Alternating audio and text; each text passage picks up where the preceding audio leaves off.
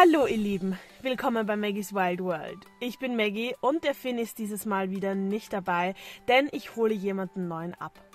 Wer das ist, warum der zu uns gefunden hat und wie unsere nächste gemeinsame Zeit miteinander ausschauen wird, das seht ihr in dem Video. Viel Spaß!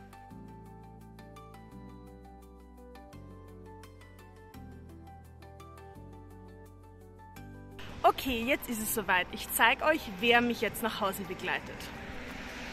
Das hier ist der Zeno und der ist ein circa sechs bis sieben Monate alter Golden Retriever.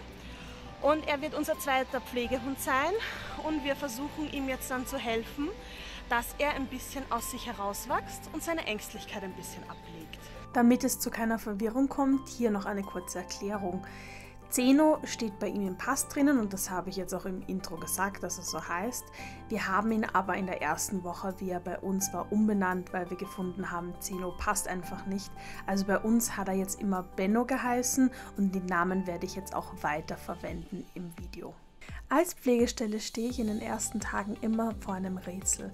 Was stimmt, was mir die vorigen Besitzer, wo der Hund gelebt hat, erzählen, was stimmt nicht und was ist vielleicht geschuldet an den Umständen, wo der Hund gelebt hat und dass er sich einfach nicht einleben konnte.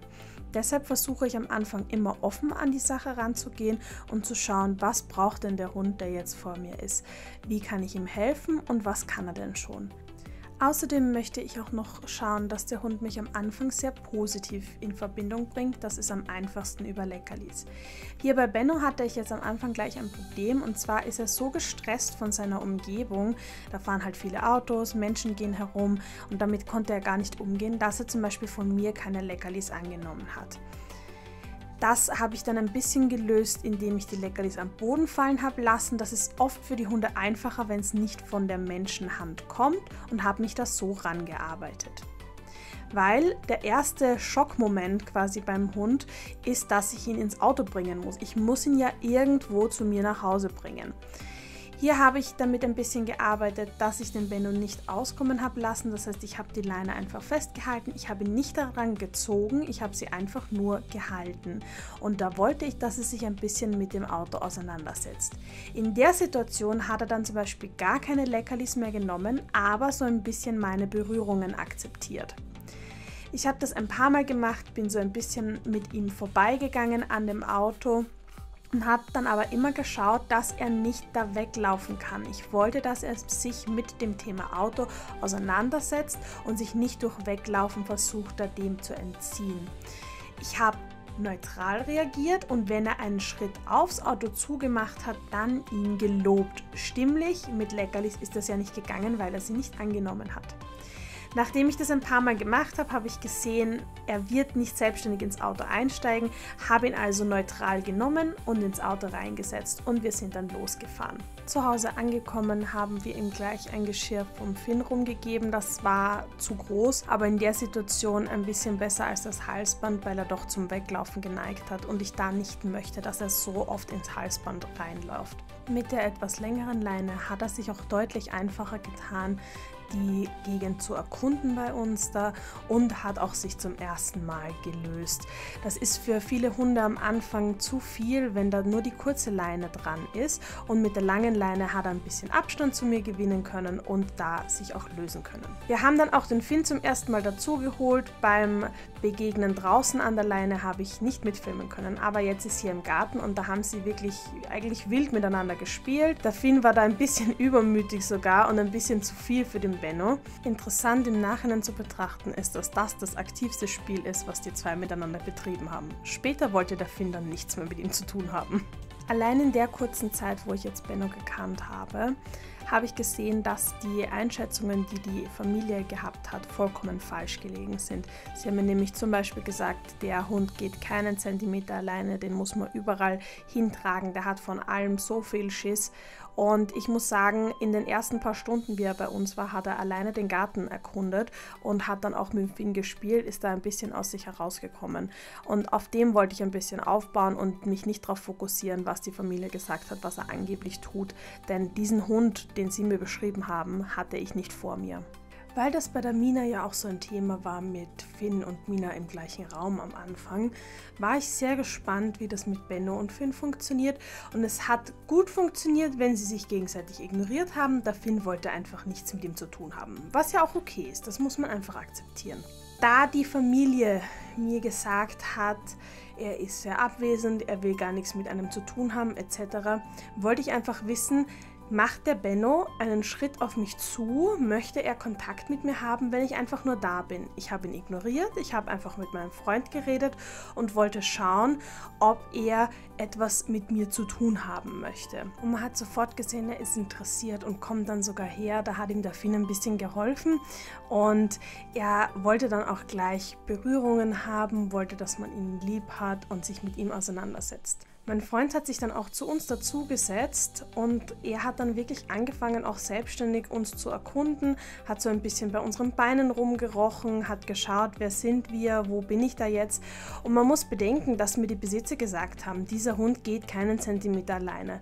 Und dann kommt er zu uns, ist circa 20 Minuten bei uns im Haus und fängt an, alleine die Welt zu erkunden. Ist er total entspannt? Nein, er hat natürlich Stress, ist aufgeregt, kennt sich nicht aus, weiß nicht, wo er ist, aber er versucht es. Und das ist für mich ein super positives Zeichen gewesen. Nach diesen Streicheleinheiten habe ich gesehen, dass es für den Benno reicht. Es war für ihn ein langer Tag und er musste mit vielen Neuen zurechtkommen. Deshalb ab in die Box und er sollte jetzt dann Ruhe finden. Die Box sehe ich als positives Hilfsmittel, weil die Hunde so schnell lernen, das ist mein Platz, da stört mich niemand, da kann ich mich zurückziehen und da kann ich mich sicher fühlen. Man hat auch wirklich gemerkt, dass er innerhalb von ein paar Minuten dann runtergefahren ist und es einfach ihm gereicht hat für den Tag. In den ersten Tagen ist der Benno oft einfach so da gesessen. Er hat einen Platz gehabt, wo er sich wohlgefühlt hat und ist dann nicht weggegangen. Da haben wir versucht, ihn wirklich rauszuholen. Es hat viel geholfen, dass er eigentlich sehr interessiert war, mit dem Mensch Kontakt aufzunehmen und da auch wirklich dann Streicheleinheiten sich abzuholen. Und das hat ihm geholfen, immer wieder so ein paar Schritte selbstständig zu gehen. Wenn er ein bisschen unsicher war, hat ihm auch viel geholfen, wenn der Daffin sich in Bewegung gesetzt hat und für eine Streicheleinheit gekommen ist. Da hat er dann gemeint, ach so, okay, das machen wir jetzt. Und dann kommt er auch her und hat wirklich von Anfang an angefangen, auch sich so richtig gegen einen zu lehnen und zu sagen, ah, mach weiter jetzt, ich möchte mit dir Kontakt haben, bitte hab mich lieb. Wir haben ihm auch immer wieder die Möglichkeit gegeben, wegzugehen, weil es ja für viele Hunde schwierig ist, Körperkontakt zu Menschen zu haben und die mögen das vielleicht gar nicht so gestreichelt zu werden. Aber dadurch, dass er sich wirklich so an einen gelehnt hat und da geblieben ist, auch wenn man aufgehört hat zu streicheln, haben wir das interpretiert, als er möchte, dass wir weitermachen. Zwischen diesen ganzen Aufforderungen, dass er sich selbstständig bewegt, war es auch ganz wichtig, ihm zu zeigen, du wirst auch mal in Ruhe gelassen, du kannst auch selbstständig zur Ruhe kommen. Er hat dann auch angefangen, äh, manchmal sich so zu kratzen und sich so am Fuß zu beißen. Das habe ich dann teilweise als Stresssignale interpretiert. Das hat er zum Beispiel in seiner Hundebox nicht gemacht, aber da wollte ich auch, dass er dann vielleicht ein bisschen da rauskommt und nicht darin verfällt, das dann dauerhaft zu machen machen, habe dann noch teilweise aufgefordert, zu mir herzukommen. Und nachdem er dann kurzen Kontakt zu mir hatte, hat das auch meistens aufgehört. Jetzt sehen wir, was ich gemacht habe, wenn er sich wirklich gar nicht bewegt hat. Ich wollte nämlich von Anfang an, dass er weiß, wenn ich ihn anspreche, möchte ich auch wirklich, dass du herkommst, mitkommst, wie auch immer. Deshalb hat er auch die Leine am Anfang drauf, diese Hausleine, damit ich eingreifen kann, ohne am Hund direkt einzuwirken. Also ich muss ihn nicht dafür anfassen, ich muss nicht dafür ganz zu ihm hin, sondern ich habe die Leine, kann die kurz ein bisschen straffen, ihn auffordern und in dem Moment, wo er sich selbstständig bewegt, wird sie wieder nachgelassen. Jeder Pflegehund bekommt von mir eine Grundausstattung. Dazu gehört eine Leine, ein Geschirr und ein Halsband. Das Halsband, was sie mir mitgegeben haben, war, war finde ich, ein bisschen zu dünn. Da wollte ich auf alle Fälle eins, was etwas dicker ist und was ihn auch noch länger begleiten kann. Und das hat er sich aber sehr gut anziehen lassen. Gerade mit dieser Leberpastete war er das sehr motiviert. Beim Geschirr war es ein bisschen schwieriger, weil das für ihn natürlich mehr körperliche Einwirkung ist, wenn ich da mich über ihn drüber beugen muss etc um ihm das Geschirr anzuziehen. Deshalb habe ich versucht, das vorher einmal so ein bisschen anzupassen, ein bisschen größer zu machen, dass es ihm hoffentlich passt schon und habe es ihm dann drüber gezogen. Das hat er mit sich machen lassen. Da ist er dann immer so gewesen, dass er sich einfach hinlegt und das so über sich ergehen lässt. Also da ist keine Freude dahinter, aber er lässt es machen. Ich möchte dann natürlich gefühlvoll vorgehen, dass er nicht das Gefühl hat, ich tue ihm weh dabei etc. und dass er nicht dann anfängt, sich dagegen zu wehren. Auch das Anpassen hat er mit sich machen lassen. Da habe ich immer wieder dazwischen versucht, ihn zu bestätigen, habe ihm gut zugeredet etc. Das ist einfach etwas, was er jetzt einmal über sich ergehen lassen muss. Und dann hat es ihm auch gut gepasst. Und wir haben das Geschirr dann verwendet. Und wie man sieht, hängt jetzt diese Hausleine zum Beispiel auch am Geschirr dran und nicht mehr an seinem Halsband, weil die Einwirkung am Hals möchte ich eigentlich nur minimal oder überhaupt nicht machen. Und am Anfang gerade bei so ängstlicheren Hunden eher übers Geschirr arbeiten. Da verteilt sich der Druck viel besser. Um auszutesten, wie viel Stress der Benno jetzt in der Situation gehabt hat, habe ich ihm dann ein bisschen von dieser Leberpastete am Boden fallen lassen, dass er sich bewegt, auch ein bisschen das neue Geschirr kennenlernt. Aber da hat man wirklich gesehen, so schlimm war es gar nicht und er hat das noch gut annehmen können. Jetzt kommt mein größter Fehler und zwar wollte ich zu viel am ersten Tag. Er war nämlich so ein bisschen verfilzt überall und ähm, dauerhaft dreckig durch seine Fellfarbe, durch seine Helle und ich wollte ihn anfangen ein bisschen zu bürsten. Und da in der Sekunde, wo die Bürste ein Geräusch gemacht hat, hatte er sofort Angst und wollte weg. Da habe ich dann auch aufgehört und mir wirklich gesagt, okay, das mache ich in den nächsten Tagen, tue ich da ein bisschen mehr Stellenwert drauf legen, dass ich ihn da so langsam ranführe aber da wollte ich zu schnell zu viel auf alle Fälle. Er hat am Anfang auch nicht so gut gegessen, deshalb sieht man da so ein bisschen, wie er frisst. Sehr langsam, sehr vorsichtig, eigentlich mit wenig Appetit. Ich habe da auch so ein bisschen Händelfleisch drunter gemixt, dass er vielleicht ein bisschen mehr Lust drauf hat und auch nass gemacht hm, hat nicht so ganz funktioniert. Und dann war wieder mal ein bisschen Ruhe angesagt nach diesem ganzen Stress und wieder diesen neuen Erlebnissen, die er da mit uns gemacht hat. Nach der Mittagspause habe ich auch weitergemacht, ihn zu ermutigen, selbst durchs Haus zu laufen. Das habe ich gemacht mit viel verbalem Lob und wir sind dann auch mal wieder in den Garten gegangen.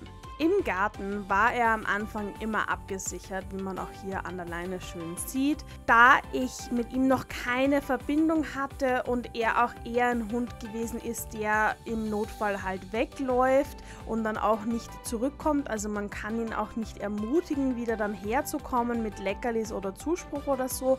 Deshalb wollte ich ihn einfach abgesichert haben, auch wenn unser Garten eingezäunt ist und er da nicht jetzt wirklich weg kann. Aber ich möchte dann auch nicht Ewigkeiten mit einem Hund Hund diskutieren, sondern möchte ihn dann auch einfach mal wieder bei mir haben können. Und dafür ist eine Leine halt super. Weil mir die vorigen Besitzer auch gesagt haben, dass er eigentlich stubenrein ist, wollte ich natürlich wissen, wie tut er sich da bei uns? Macht er bei uns hinein oder ist er wirklich stubenrein? Und da muss ich sagen, hat er von Anfang an wirklich das toll im Garten erledigt und sobald der Finn ihn ein bisschen in Ruhe gelassen hat, hat das auch super funktioniert. Auch da die Treppen hat er nach dem zweiten, dritten Mal super gemeistert. Da haben wir manchmal die Leine gebraucht, dass er wirklich reingeht. Hier sieht man das sehr schön. Da hat er wieder so einen Moment. Ich weiß jetzt nicht, was ich tun soll. Die Tür finde ich gruselig, da möchte ich eigentlich nicht hin. Aber du bist da hinten und eigentlich ist im Garten lustiger.